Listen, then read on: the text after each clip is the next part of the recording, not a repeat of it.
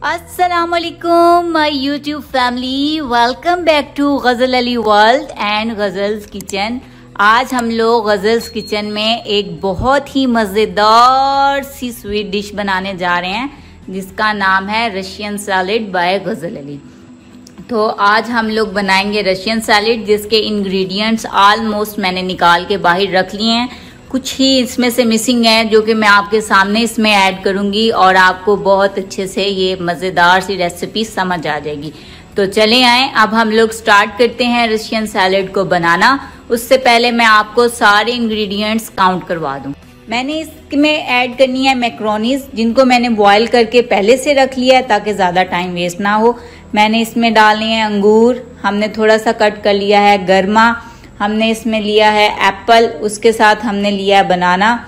थोड़े से हमने आलू लेके उनको कर लिया है बॉयल ऑलमोस्ट एक आलू था बड़े वाला, थोड़े से मीडियम साइज़ से, थोड़ा सा बड़ा। साथ में मैंने कट कर लिया है बरीक बंद गोभी। साथ में कर लिए थे बॉयल मटर और थोड़ी सी कट की है बरीक शिमला मिर्च।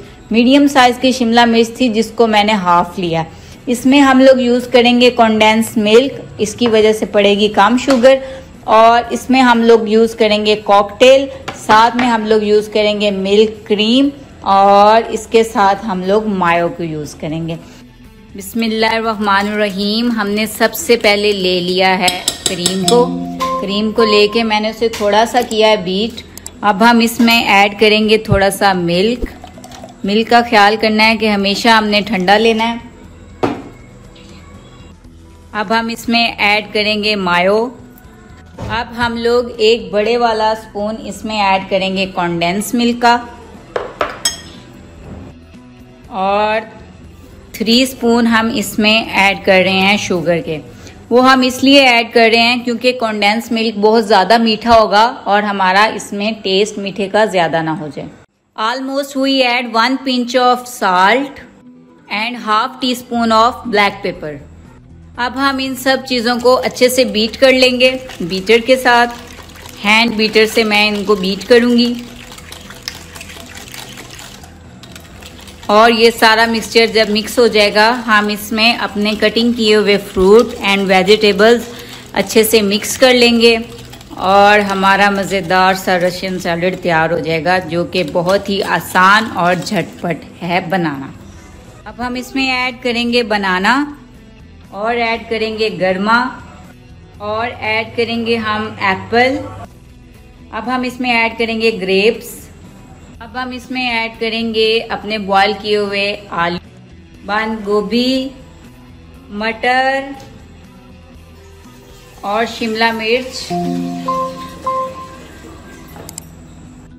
एट दी एंड हम लोग इसमें ऐड करेंगे मैक्रोनीस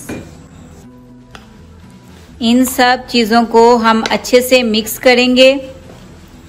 मिक्स जब हो जाएँगी, फिर हम लोग खोलेंगे अपने कॉकटेल का डिब्बा और फिर हम डेकोरेशन में उसे यूज़ करेंगे और वैसे इसके अंदर भी ऐड करेंगे।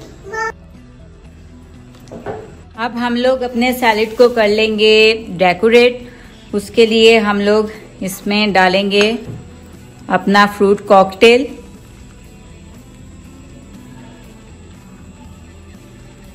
फ्रूट कॉकटेल ऊपर डालने के बाद हम इस पे बादाम डाल लेंगे,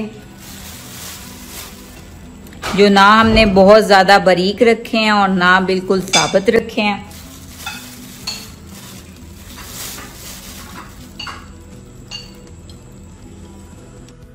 थोड़ा सा हम इसमें ग्रीन ग्रीन ऐड करने के लिए अपनी शिमला मिर्च भी ऐड करेंगे, जो हमने इसके अंदर भी ऐड की थी। जी तो हमारी मज़ेदार सा रशियन सैलड हो चुका है तैयार, और अब हम इसको लेंगे मज़े मज़े से खा। और आपने चैनल को देखते रहना है वीडियोस को लाइक करते रहना है, ज़्यादा से ज़्यादा वीडियोस को शेयर करना है, ताकि आपकी सपोर्ट से मेरा चैनल ज़्यादा से ज़्यादा आगे बढ़ सके। तो मज़ेदार रेसिपीज़ देखने के लिए दोबारा गज़ल अली वर्ल्ड पे वापस आइएगा। अब हम लोग मिलेंगे मज़ेदार सी नेक्स्ट वीडियो के साथ। तब तक के लिए अल्लाह हाफिज़।